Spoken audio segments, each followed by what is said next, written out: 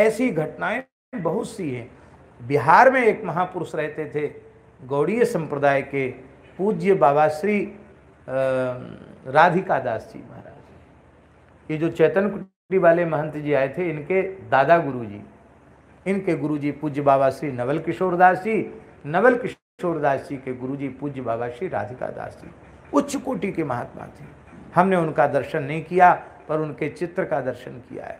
ऐसी उनकी भजन की निष्ठा थी बाबा, कि 24 घंटे में एक बार निस्वाद भिक्षा लेते थे, या तो केवल भात या मोटे टिक्कड़, बस। और मिठाई के रूप में इतनी सी एक मिश्री की डली, चित्रपट सेवा थी, उनको भोग लगता था, बस। और गीत गोविंद का पाठ वो निरंतर करते रहते थे, भाव राज्य में रहते थे। और अहरनिश भजन भजन छोड़ के दूसरा काम नहीं।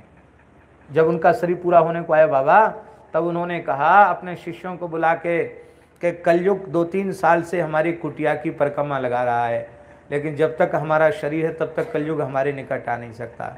पर हमारे जाते ही कलयुग उठा पटक करेगा तो हमारे शरीर को गंगा जी में प्रवाहित करके, और तुम लोग वहीं गंगा जी के तट पर रहते थे, गंगा जी में प्रवाहित करके तुम लोग वृंदावन चले जाना। उनके सब शिष्य विरक्त हो गए। बड़ी उच्च कोटि के महात्मा थे। तो उनके जीवन की बाबा घटना है, वृद्ध थे, सत्य घटना। जिनके सामने घटना घटी, उन महापुरुष के वाणी से हमने वो बात सुनी।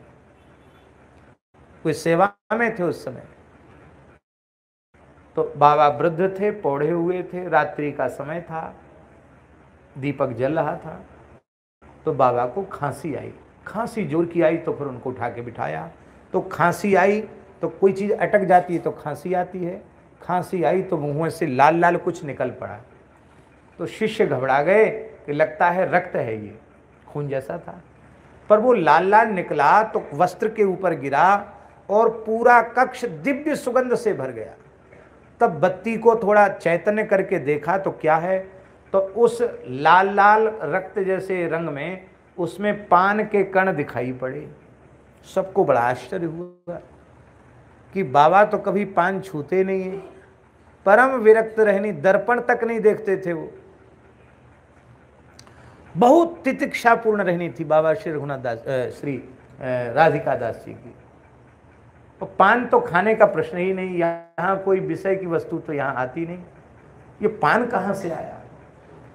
और जब बाबा बैठे तो राधा राधा राधा कह के विलाप करने लगे। तब लोगों को लगा कि कोई लीला राज्य की बात है।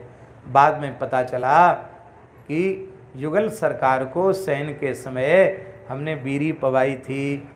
युगल सरकार के नेत्रों में नींद आने लगी।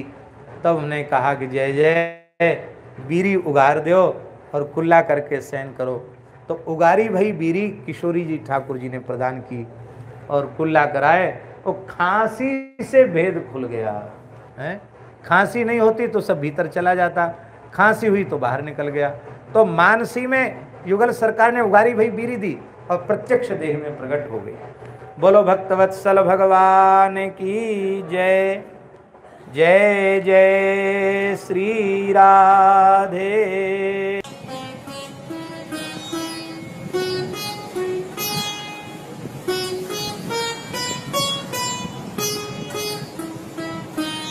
श्री सीताराम। प्रतिदिन सत्संग एवं दर्शन के लिए श्री महाराज जी के ऑफिशियल चैनल को ज़रूर सब्सक्राइब करें।